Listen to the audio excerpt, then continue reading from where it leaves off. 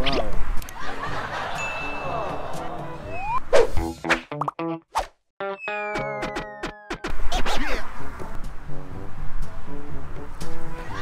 O, Tina, bakit naman ang aga-aga eh? Nakaupo ka dyan at nakasimangot ka. Anong ginagawa mo? Feeling ko kasi hindi na ako magkakajowa. Alam ko na, may alam ako manghuhula dyan sa malapit sa atin. Wow. Alam mo, baka mahulaan akong sino magiging lalaki mo, sino magiging jowa mo ngayon. Vision? Hula?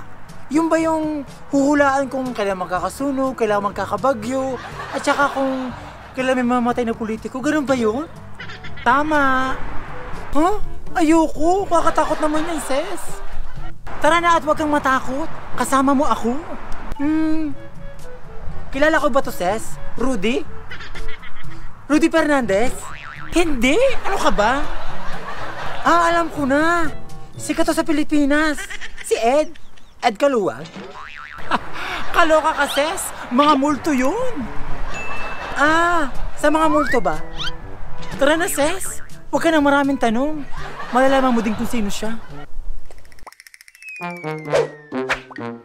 Sis, nakakatakot naman dito. Ang dilim. Ako bahala sa'yo, sis. Wow. Um, hello po.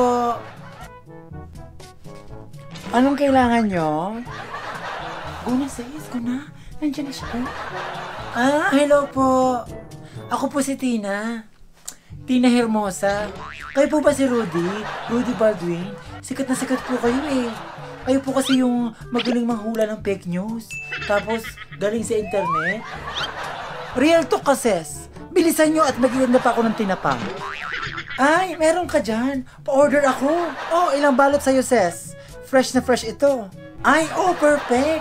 Yan ba yung hula mo? Magkakabagyo, tapos dagsa ang isda? Tama ba ako? Oo, sis. Huwag ka na lang maingay. Hoy, ano yan? Pumunta tayo dito para magpahula, ay hindi para sa tinapa. Yan nga po, nandito kami para magpahula. Anong papahula mo?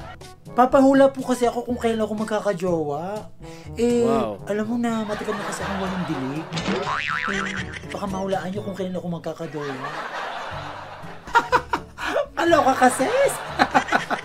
Akin ang kamay mo at makikita ko sa vision ko. Ha? Ano pong itsura? Gwapo ba? Matangkad? Matipuno? Oo, siya nga. Sis, ito na yun. Sabi ko sa'yo, sis. Sa tingin niyo po ba, malapit lang siya dito? Anong first Wow. letter ng name niya? First letter ng name niya ay T. Wow. Ano, nag-brown out? Hindi niya ba nag-vision ng brown out na yan? Sus, kaloka.